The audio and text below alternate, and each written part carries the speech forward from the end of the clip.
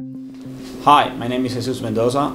I am the lab manager in the mechanical testing lab in the Innovation and Technology Center in Finspång, Sweden.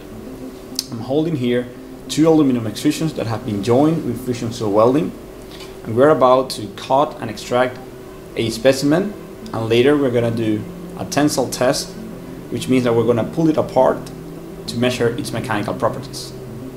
So these are the two samples that we have extracted and now we're ready to test them.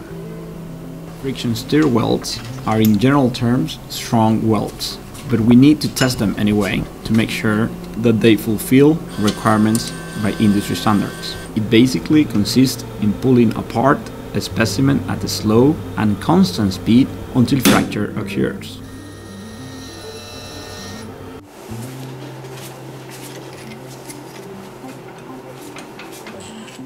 So now we have performed tests and as you see the weld is intact and it breaks just in the heat affected zone next to the weld. We conduct these tests to make sure that the weld properties exceed the tensile strength requirements for their application.